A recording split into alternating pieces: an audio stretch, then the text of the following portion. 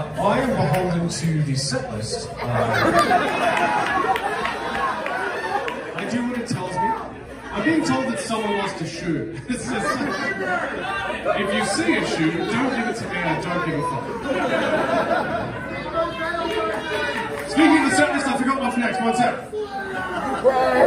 Oh, sick. Though, for real, when, when we do travel the world, we are lucky now to do that. We are so lucky to be here, we're so grateful. And last year we toured Europe and Latin America, we've been able to do this again, and it's because of all of us doing the right thing, we are so fucking lucky and grateful.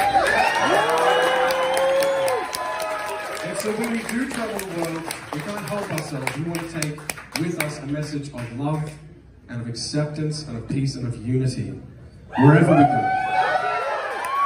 And what's exciting to us is, for all the news that we get of your country from home, not all of it great. All that we've seen since we've been here is that. Is that acceptance, is that love, is that unity. So you should be proud of yourselves. Thank you. This is the song about that love.